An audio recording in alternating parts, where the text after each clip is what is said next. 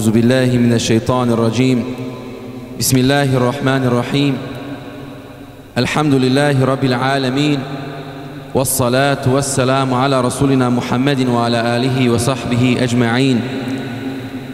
قال الله تعالى في كتابه الكريم إن هذا القرآن يهدي للتي هي أقوم. صدق الله العظيم. Zahvala pripada uzvišenom Allahu, gospodaru svih svjetova, koji nas je stvorio, a nismo mu trebali, koji nas je uputio, a mogao nas je u zabludi ostaviti, koji nas je nahranio i napojio, a mogao nas je gladnim i žednim učiniti, koji nam je sigurnost u našim kućama i našim džamijama dao, a mogao nas je bez te sigurnosti ostaviti, salavat i selam, mir i spas našem poslaniku i miljeniku Muhammedu sallallahu alaihi ve sellem koji nas je naučio da uzvišeni gospodar daje dunjaluk i onima koje voli i onima koje ne voli, ali vjeru daje samo onima koje zavoli. I zato mi molimo gospodara da ovaj naš dolazak na njemu najdraže mjesto bude ako Bog da znak da nas on uzvišeni voli. Salavat i selam poslaniku o častnoj porodici, plemenitim ashabima, našim šehidima i svim onima koji istinu slijede do sudnjega dana. Nakon zahvale Allahu i salavata poslaniku sallallahu alaihi ve sellem, dopustite mi da se zahvalim i domaćinima večeras, našem hafizu Mevludinu koji me pozvao džemalskom odboru da posebno poselamim glavnog imama, kolege imame, hafize, mnogobrojne ahbabe, prijatelji i sve vas, braćo i sestre, draga omladino, sa našim džennetskim pozdravom, selamu alaikum, rahmetullahi wa barakatuhu. Kad god se okupi skupina vjernika da Allaha Đelešanuhu veliča, da ga zikr čini, da ga spominje i da njegovu knjigu proučava, na njih se spusti sekinet, smirenost, Allahova milost, meleki ih nadkrile svojim krilima i budu spomenuti kod gospodara po onome što je najbolje. Ja molim gospodara da ovaj naš skup večeras bude ako Bog da od takvih skupova, braćo i sestre. Postoji u životu trenuci kada bi insan poželio da što je moguće duže traju ti trenuci. Uživate u tim momentima. Vaše srce se ispuni ljubavlju prema gospodaru. Zaboravimo prolazni dunjaluk. Zanemarimo ona iskušenja koja nas more i koja nas muče. I samo bismo htjeli da što duže uživamo u tom jednom halu, u tom jednom lijepom raspoloženju. Ja sam to večeras osjetio u ovoj džami, braćo i sestre. A učenjaci kažu da kada osjetiš takav hal i takvo raspoloženje, Allah ti je spustio dio džennetskog osjećaja u tvoje srce. Jer u džennetu dosade nema prelijepi osjećaj će vječno da traju ako Buda. I zbog toga molim Allaha da kao što nas okupio večeras na ovom mjestu koje njemu najdraži, ako Bog da sve nas okupi sutra na budućem svijetu, na onom mjestu koje vodi ka vječnoj sreću u džennet i Firdeusu, braćo i sestre. Zaista, nakon 20 godina što ova džamija postoji, ja sam puno puta prošao pored Zenci, ali nisam ovako često ulazio u grad, tako da nisam imao priliku posjećivati ovu džamiju. Prvi put sam iskreno govorim o ovoj džamiji. I ono što me dočekalo ovde, od vaših vedrih lica, od lijepe organizacije, od lijepe atmosfere, od bratskih osmiha koje vidim, od saradnje koju osjetim ovdje, od samoga hala koji se vidi znake, braćo i sestre, da se ovde uz Allahu pomoć lijepe i hajili stvari dešavaju. Neko se 20 godina ulagao, braćo i sestre, da vi danas imate ovo što imate. I zbog toga bih volio da ovo večerašnje svoje druženje i obraćanje koncipiram kroz ove poruke kuranske koje smo mi primili i čuli večeras, braćo i sestre. Ja sam na početku pa kazao jedan ajet u kojem Allah uzvišeni veli, zaista ovaj Kur'an vodi prema onome što je najbolje. Pitam ja svoje učenike, šta mislite kada bi danas neko od ljudi vidio muđizu koju je Musa a.s. imao, pa je raspolovio ono more pred Benu Israeličanima, ili što je Muhammed a.s. imao, pa se raspolutio mjesec u njegovom vremenu. Da li biste, šta mislite, Da li biste mogli zamisliti da ljudi masovno prihvataju islam, da priznaju Allaha za gospodara, kada bi danas to ljudi vidjeli? kažu neki bi, neki kažu ne bi, sad neko opravdava ovo ili ovako ili onako. A onda ima kaže najveća muđiza koju je Allah Đelešanu svojim poslanicima dao jeste govor Muhammedu sallallahu alaihi sallam, Kur'an i Kerim, braćo i sestre. Ovo je noć Kur'ana, noć za sjećanje. Najveća muđiza, najveće čudo koje Allah dao stvorenjima je Kur'an i Kerim. I onaj ko danas ne osjeti Kur'an kao muđizu, ko ne osjeti snagu Kur'ana, ko ne uživa u ljepoti Kur'ana, kome Kur'an nije snaga, da mu se mjesec raspoluti danas, braćo i sestre, da mu se more razdvoji, da mu voda iz planine kreni, da neko mrtve oživi, on i dalje ne bi vjerovao gospodara svih svjetova. Jer ako u Kur'an i Kerim ne vjeruje kao muđizu, zašto misliš da bi prihvatio neku manju i neku drugu muđizu koju Allah Đelešanuhu dao? Nama je gospodar dao, braćo i sestre, takva, takav dar, takvu blagodat koje mi često nismo ni svjesni. Zato sam za početak citirao ajet. Ovaj Kur'an vodi prema onome što je najbolje, što je najčvršće. Ali nažalost mi smo nekada od onih koji zanemaruju Kur'an i Kerim. Jedan Efendija je to lijepo kazao riječima. Ima, kaže, ljudi kojima je Kur'an i Kerim na vrh vitrine i na kraj pameti. Ima ljudi kojima je Kur'an na vrh vitrine i na kraj pameti. 20 godina se ovdje obavljaju namaz, 20 godina se djeca Kur'an uči, 20 godina se ljudi sa Kur'anom druže ovdje. Vi najbolje znate šta ste prošli. Koliko nas je Kur'an oplemenio, to je pitanja koja sebi hoćemo da postavimo. I mi želimo i molimo gospodara da se i sljedeći 20 i 200 godina i do sudnjeg dana generacije za nas ovdje druže na Kur'an i Kerimu kako bi smo mijenjali sebe i svijet oko sebe. I zato ove poruke koje smo iz Kur'ana večeras čuli, braćo i sestre, one nisu tu samo da uđu u naše uši i da nakon toga tu zastanu, nego da dođu do naših srca. Pa dopustite mi da izdvojim nekoliko ajeta koje su naši hafizi učili večeras, kao da smo se dogovarali, braćo i sestre. Ono što sam htio da kažem, gospodare, preko njihovi jezika, Kur'an i Kerimom, meni olakšao da vam, da vam to ako boda prenesem. Hafiz Jahja je na početku učio sure El Bekare. Sami kraj sure El Bekare. Za sami početak. Lillahi ma fi sema vati wa ma fil ard. Allahu pripada ono što je na nebesima i ono što je na zemlji. Najvrednija stvar, braćo i sestre, koju mi učimo dolazeći ovdje u džamiju, jeste da ti vrijediš onoliko koliko si se za Allaha vezao, a ne za nešto od onoga što je prolazno. I zato dolaziš na namaz i govoriš pet puta dnevno, svjedočiš da nema Boga osim Allaha. I kada staješ na namaz Allahu Ekber. Zašto je Allahu Ekber najčešća rečenca u namazu? Kogod klanja redovno vi znate da Allahu Ekber. Malo malo Allahu Ekber na početku namaza kada krene na ruku kada krene na seđdu Allahu Ekber Allah je veći od svega pa zato što gospodar svih svjetova zna da smo mi ljudi slabi i da često mi nešto drugo stavimo u naše srce i da nam bude vredniji od Allaha Đelešanu. Allahu pripada ono što je na nebesima i ono što je na zemlji. U arapskom jeziku nema glagola imati. Dos, nema ga doslovno. Da nas, da nas gospodar kroz to nauči da jedini ko istinski nešto posjeduje jeste Allah Đalešanu. I zato, braćo i sestre, dolazeći ovdje, čuvajući svoj džemat, čuvajući svoju džamiju, uvijek se vežite prije svega za Allaha Đalešanu. Razmišljam dok slušam ova imena, čestitih insana, imama, mujezina, oni koji su izmetili u odboru bili, oni su danas tu. Neki su bili jučer tu, možda neki među živima nisu. Možda će sutra nas neko da spominje po dobru, ako ovo da nije ćemo biti među živima. Zato što znaš da samo Allahu pripada sve što je na nebesima i na zemlji. I zbog toga kada je jedan unuk upitao svoga dedu, kaže, dedo, kaže, šta je to, kaže, život? Šta je to, dedo, život? Te mi objasni. A onda mu kaže, njegov dedo kaže, sine, život je ono vrijeme između ezana bez namaza i namaza bez ezana. I sad ovaj dječak razmišlja, dedo, ne razumijem, šta hoćeš da mi kažeš? Pa kaže, sjećaš se, kaže, sine, kad smo prošli sjednice, bili na akiki kod tvoga rođaka koji se tek rodio. Kaže, sjećam se, dedo. Pa šta smo, kaže, radili? Pa kaže, proučili smo mezan na desno uho. I kaže, to ti je ezan bez namaza. Pa dobro, kaže, to znam. A šta je, kaže, namaz bez ezana? Kaže, e to ćeš sine saznati kada tvoj dedo preseli. Šta je život, braćo i sestre? Kaži mi kako doživljavaš svoju prolaznost. Ja ću ti kazati, Allah najbolje zna kakva će biti tvoja vječnost.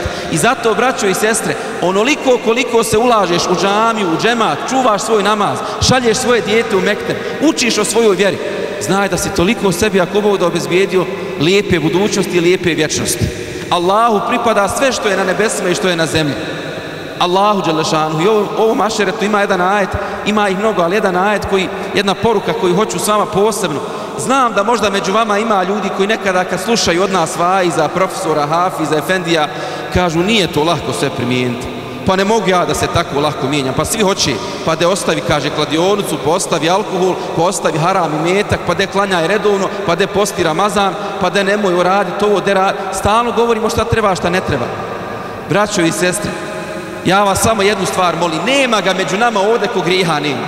Nema ga među nama ovdje. I da se grijesi čuju, vi ne biste mogli da sjedite jedni pored drugih. Ovaj koji vam priča ne bi mogao da prođe pored vas. Nema ga među nama koji griha nema. I hvala Allahu pa on grijehe pokriju. A samo jednu stvar, najvažniju stvar koju moramo da učimo u džamijama, braću i sestre, kad slušamo o propisima naše vjere, koliko god da grijeha imamo, koliko god slabosti da imamo, zapamte braćo i sestre, la yukellifullahu nefsen illa vusaha. Allah nikoga ne zadužuje više nego što on može da ponese. Ako te Allah zadužio da redovno klanjaš, nemoj govoriti ja ne mogu, ja nemam vremena. Reci gospodaru, ja sam lijen i nemam snage, ali ti mi gospodaru pomozi. Ako te Allah zadužio da postiš Ramazan, nemoj se pravdati vruće, teško je, nego kaži gospodaru, srce moje nije spremno tebi da se pokori. Ako vidiš da ti, da haram uzimaš, da odeš u kafanu, u kladionicu, da nekada možda uradiš nešto, a znaš da nije u redu. Nemoj da se ponosiš sa ti, nego kaži gospodaru moj, ja znam da si, ti si me zadužio da ovo ne činim, ali ja Allahu ne mogu. Allahu snage nemam, ti mi Allahu pomozi. Vjerujte, braćo i sestre, ako iskrena ta dova bude bila, pa makar nakon nekog vremena Allah će ti pomoći. Allah će ti pomoći. Sjećam se jednog insana, pričam, je 30 godina sam ja haram konzumirao. 30 godina u moja usta to ulazi. Doktor kaže, nemoj jetrati ode. Žena govori, nemoj bolan, pa vidiš, sve nam pare odoše, vidiš kakav si, nikakav. Djeca plaču kad dođem jer znaju da će babo Belaj da napravi. Komšem izbjegavaju, ne mogu pored mene od mirisa, smrada da prođu. Nikakav moj život. I svi mu upozoravaju, ja, ja ne mogu da prihvatim to. To kaže, jednoga dana nisam otišao u samoću svoje sobi dok nisam otišao u samoću svoje sobe. I ko malo dijete se isplako i kazao, gospodaru moj, tako ti veličine tvoje, ja znam da nije u redu, ali ja Allahu ne mogu. Allahu, ako me ti ne pomogneš, ne znam ko će me pomoći. I kažem, taj ta insan zna tog insana. Kaže, nakon što sam to kazao, ali imam osjećaj da iskreno iz srca izašli. Kao da mi je neko rukom sklonio potrebu za tim grijehom, za tim haramom. Nikad više nakon toga u moja usta nije ušlo braćo i sestre, Allah nikog ne zadužuje više nego što, mo što može da ponese. I zato nemoj se pravdati i govoriti, ima vremena, ne mogu ja to, nego kaži Allah, ja snage nemam, a znam da moram. Allah, to je moja slabost, ali ti me pomozi tu slabost da ostaje. To u džami učimo, braćo i sestre. Allahu pripada sve što je na nebesima i na zemlji. Za Allaha se vješte, braćo i sestre. Ja se sjećam, jednom mi došao, dok sam, kao što moj je Rudin Efendi kaza, radio na Iliđu jednom džematu kao imam, ja držim hutbu i dolazim i sada jedan džematle iz druge džamije sada ga pita njegov pita ga njegov efendija kaže kako ti je bilo kod Hafiz Amara na hudbi kaže dobro je kaže bilo Ma dobar je, kaže ona Efendija, ne znam onome puno detalje, kaže dobar ona Efendija, ali brate dragi, samo Allahu priča. On je meni to ko mahanu neku vidio, braćo i sestre. Paste, braćo i sestre, nije sporno, treba naravno da čovjek, sač, naravno, vjeru punini da razumije. Ali kad je Allah na prvom mjestu, sve će biti na svome mjestu. Kad Allaha zanemariš, znaj da ćeš ti tražiti odgovor na svoje probleme, ali neće ti gospodar odgovor pokazati. I zato u namazu svakoga dana, evo 20 godina, Allahu ekber sa minareta se čuje. Allahu ekber kad u namaz ulazim. Mora gospodar i njegovo ime najveće u srcima naših da bude. Nakon toga Hafiz Enes nam je, braćo i sestre, učio ajeti sure Alu Imran, mnogobrojne poruke, ali evo, pošto smo u mjesecu Rebiul Evelu, vema Muhammedun illa Rasulu, Muhammed je samo Allahu poslanik. Kaže gospodar svih svjetova, Efe im mate au kutilan qalabtum ala aqabikum. Ako on umre ili ubijen bude, zar ćete se vi vratiti stopama svojim? Zar ćete zanemariti ono čemu vas je učio? Braćo i sestre, mi nemamo opravdanje da zanemarujemo sunnet Muhammed alejselama. Nemamo opravdanje da ne učimo svojoj vjeri. Ti kaži, ja hoću da naučim, imam hvala Allahu priliku, imam svog imama, mogu da pitam. Imamo ovakvu lijepu džamiju, džemat, stalno se aktivnosti dešavaju. Nemam opravdanja, braćo i sestre. Ja ću iz njegovog života samo jedan detalj, s obzirom da smo vi čestiti ljudi na to inspirirali. Kada je umrla jedna žena za vrijeme poslanika, sallallahu alaihi sallam, koja je čistila i izmetila džamiju, braćo i sestre. Ashabi Muhammeda, sallallahu alaihi sallamu, nisu o tome ništa kazali. Nisu ga obavijestili uopšte smatrajući on ima puno obaveza, ima toliko zadataka pred sobom, nemoj da ga zamaramo sada sa još jednom dženazom. I nakon nekog vremena, poslanik sallallahu alaihi sallam primijeti da te žene nema u džematu, da se ne pojavlje ona. I pita, on kaže, gdje je, kaže, ona žena koja je preselila? Gdje je ona žena koja je čistila našu džamiju? Kažu, Allah poslanić, ona je preselila. I mi smo, kaže, klanjali dženazu, nismo htjeli da te bih. I vi znate da se Muhammed alaihi sallatu wasalam vrlo rijetko ljutio vrlo rijetko se ljuti, ali tada se vraćaju i sestra na ljuti. Pazi kad se Resulullah ljuti, nije zbog ja, nije zbog svoga ega i nefsa, nego zato što je ugroženo pravo onoga koje je izmetio Allahu u kući. I kaže nakon toga Resulullah, zašto me niste obavijestili da je preselila ta žena? Gdje je njen mezar? I traži od ashaba da pokažu mezar od te žene. I odlazi i sa ashabima joj ponovno dženazu klanja da bi pokazao ummetu da oni koji ih izmete i služe Allahovim kućama kod Allaha posebno mjesto imaju. Zato, braću i sestre, čuvajte svoje džamije, čuvajte svoju zajednicu. Zamislite samo ovo, dođe neko u tvoju kuću, dođe neko čestit u tvoju kuću i kaže, evo samo da ti malo pospremim tvoju kuću, da ti suđe operem, da ti usisa malo, da ti sredim šta god treba, da ti podmirim ako treba nešto. Šta bi ti mislio o toj osobi? Da li bio zahvalan bio? Da li bi se odužio na neki način? Da li bi odovučio, učio? Pa ako si imalo plemenit, naravno da bi to uradio i uradilo. Da ti neko po tvoju kuću pohizmeti i da ti nešto tu dobro uradi.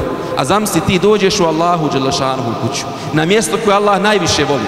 I ti izmetiš njegovoj kući, a on je od plemenitih najplemenitiji. Zar mislite da je moguće da nakon toga ti gospodar ne otvori vrata svakoga dobra u tvome životu? I zato, braćo i sestre, ako želite dobro sebi, svojoj porodici, vežite svoja srca i srca svoje porodice za Allahu u kuću. Možda jedna sijalca, jedna marka koju ubaciš tu, jedno, jedna, jedan trun koji džami iznesiš. Možda ti zbog toga gospodar otvori vrata bereketa u tvome poslu, u tvome zdravlju, u tvome djetetu, u tvojoj jahalicu, u tvome automobilu. Ne znaš ti, jer ti si ih izmetio Allahu u kući. Ja se sjećam pričom jedan stariji hađija, kaže iz jednog grada u Bosni i Hercegovini, nije ni važno, pojava je važna, braćo i sestre. I kaže on, u ratu se to desilo. Njegova kuća je bila taman pored džamije njihove, mahalski. On je bio mutevelija te džamije. Dolazi mu informacija, kaže, zapalila se mutevelijina kuća. I dolazi on, vraća se u svoju kuću, da vidi kakva je situacija. Kuća sva izgorila. I dolazi on, kako stiže tamo, pita, kaže, recite mi, kaže, jel šta na džamiju prešlo? Kažu, nije hađija ništa na džamiju, eto, tu je instalacija stala, samo tvoja kuća stradala. I pasite, braću i sestrovu, kaže ta insan, tako mi gospodara, draže mi je što je čitava moja kuća izgorila, nego da džami samo jedna cigla zafali. Možda je zbog takvih dova, braću Allah, čitav naš narod spasio. Zbog takvih insana. I zbog toga, braću i sestro, od Resulullaha, sallallahu alaihi sallam, evo u ovom mjesecu, hoćemo da naučimo, njegov je put za džamiju se vezati, za džemat se vezati, za zajednicu se vezati, hizmetiti umetu islama, braću i sestre. Nemoj da vas ne boli stanje u vašoj zajednici, vašem okruženju. Pa ako vidiš da ne možeš promijeniti ništa ni rukom, ni riječima, makar uči dovu za one koji ne dolaze ovdje. Makar uči dovu za omladinu koja možda ne zna za namaz i za džamiju. Za one koji misle da je smisao života haramima da žive.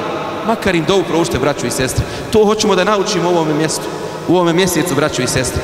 I nakon toga, Hafiz Nijaz nam je proučio ajete iz sure Ahkaf, gdje se spominje najvažnija poruka, ono što sam i htio da vam kažem, kao da smo se dogovorili. Inne ledine kalu rabbuna Allahu, thumma istaqamu. Oni koji kažu gospodar naš je Allah. Nakon toga ustraju na pravom putu. Za njih nema straha i za njih nema tugi. Hoćeš da nemaš straha, hoćeš da ne tuguješ, da te Allah dadne tu ljepotu u grudima. Reci moj gospodar je Allah. I nakon toga ustraj na tom putu. Ustraj na tom putu, braćo i sestri. Ustraj, borimo se, to je najteže. A znajte to kod gospodara najveći. 20 godina neko ustrajava da se ovdje džemat organizira. To je golema koboda kod Allaha. Znajte, braćo i sestre, neće Allah ljudima suditi na osnovu samo jednoga, dva, tri dijela koja su učinili dobro ili loše. Pa neko kaže bio pet godina dobar, kaže kako će on zaslužiti džennet. Ili neko kaže pet godina nevjernik bio, kaže nije fair da ide vječno u vatru. Pazite, braćo i sestre, Allah Đalešanuhu će ljude nagraditi ili kazniti shodno tome kako bi se ponašali do sudnjeg dana da požive. I zato sad kad bi ti neko rekao živjet ćeš još 50 godina, naravno mi znamo da je to nemoguće da znamo. A znam si kaže ti onaj koji će ti dušu uzeti i ti znaš da je tačno. I ti nakon toga počneš kalkulisati. Pogotovo mladim ljudima govori. Ok, sad ću ja da se uživam, da živim 40, 45 godina, a onda ću tamo u starosti da obavljam namaz, da odem na hač, da radim dobra djela. Znaj da nisi od onih koji će nikada imati snage. Zato što, braćo i sestre, vjernik je toliko stidan prema Allahu Đelešanu, da on kaže, Allahu, ja ne mogu dana provesti tebi u nepokornosti. Samo da završim sa jednim primjerom, braću i sestre. Ja to često spominjem na manifestacijama gdje, gdje se govori o Kur'an i Kerimu. Ali život, primjer iz našeg života, braću i sestre. Molim vas, razmišljajte šta je vaša svakodnevnica. Možda se ti svakoga dana ljutiš na ljude oko sebe. To znaj da je tvoja loša osobina što što sabura nemaš. Može ti se jednom desiti u godini dana, pa i u mjesec dana, ali to nije tvoja konstanta. Ali ako je to tvoja svakodnevnica, imaš bolesti liječi. Može ti se jednom desiti da prespavaš sabah 10, 15 mjesec dana, ali ako ga svako jutro prespavaš, ne klanjaš sabah. Razmišljajte, braću i sestre, šta su to naše konstante? Šta su naša svakodnevna djela? 20 godina neko ovdje konstantno čuva vjeru, braću i sestre. Čuva namaz, čuva džemat. Šta ti ja čuvam? To se desilo prije dvije godine u Sarajevu. Izuzetno mi je bilo teško što nisam bio u, našim, u, u našoj zemlji, nisam mogao na dženazu da odim. Jedan insan, braću i sestre, sjećam se dok sam još dječak u medresi bio, došao mi je na hafisku dovu. Insan koji dunjalka, sjećam se, ima, nije mu dunjaluk trebao. Allah mu dunjaluk dao. Došao dječaku koji ništa od mene nema, dunjalučku, ništa. Ali došao iz poštovanja ne prema mene, nego prema Kur'an i Kerimu. Kur'an jedini dostojan poštovanja. Sjećam ga se od tada još, bili smo u kontaktu, družili se. Čovjek je izmetio braćo i sestre, gdje god može, organizira se sufara, kurs Kur'ana, hifs, bilo šta, pomagao, stipendirao, olakšavao, organizirao, koliko je mogao. Znamo ga svi u čarši da je bio poznat po hizmetu Kur'an i Kerimu. Potom je poznat dio braćo i sestre. I prije dvije godine, malo više od dvije godine, Ramazan je bio braćo i sestre, zatiče me vijest, preselio, kaže, taj čestiti bošnjak. Čest iznenad Allah dao. Braćo i sestre, preselio u zadnjoj trećini Ramazana. A dženaza mu je bila u oči 27. noći, noći Leletul Kadri. Živio život u hizmetu Kur'anu. U ljubavi prema Kur'anu. Prema džematu, prema zajednici. Pa ga je Allah počastio da se njemu vrati u noći kad je počela objava Kur'ani Kerima. Braćo i sestre, mi ne možemo izabrati kako ćemo preseliti sa Dunjalka. To mi ne možemo izabrati. Ali svako od nas bira kako će na Dunjalku da živi. Ja vas zaista molim, evo od ove noći, u ovoj noći da razmišljamo koliko smo se vezali za Allaha Đelešanu, ona prva poruka, koliko smo se za Allaha Đelešanu vezali. Znajte da će vas svi ostaviti jednog dana osim Allaha Đelešanu. Molim vas, vežite se za gospodara. Pa i kada griješimo i kada ne uspijevamo da budemo dobri, nemojte okretati leđa od gospodara. Imajte ga u dovi, imajte ga na jeziku u srcu svome. Razgovarajte sa Allahom. Padni njemu na seždu. U samoći mu se žali na svoje slabosti. I moli njega da te popravi. Vidiš imaš mahanu puno pričaš, ružne riječi govoriš, radiš haram, uzimaš haram, gledaš haram, ne radiš dobra djela, digni ruku u samoći, kaži gospodar, ja bez tebe ne mogu. Ovo su slabosti moja, ti mi snagu daj. Vježimo se za Allah Đelšanu. Druga stvar, učimo od Muhammeda sallallahu alaihi ve sellem. Onaj ko izmeti džami, dostojan je da mu Muhammed alaihi salatu ve selam mahsus dženazu klanja zato što hizmeti Allahovoj kući. Naručite sebi dobro u svojim životima hizmetom Allahovoj kući. Allah vas je počastio prelijepu džamiju. Održavajte, još više se u nju ulažite. I treća poruka koju sam kazao, razmišljajmo braću i sestre koje su naše konstante. Ne biramo kako ćemo preseliti, biramo kako ćemo živjeti. Ja molim gospodara da nas počasti, ako Bog da, da živimo sa onim vrijednostima s kojima je on zadovoljan. Da gospodar svih svjetova nam dadne snage i vama da podari bereketa u vašem džematu. Da se do sudnjeg dana ezan ovdje uči. Da se do sudnjeg dana mektebu djeca podučavaju. Da vam podari ako da bereketa u životu, u radu i da ako da se na sudnjem danu sretnemo sa Muhammedom sallallahu alaihi sallam, a on nas prepozna kao istinske sljedbenike svoje. Da nas dragi gospodar na tom putu pomogne. Hvala vam. Salamu alaikum. Amin.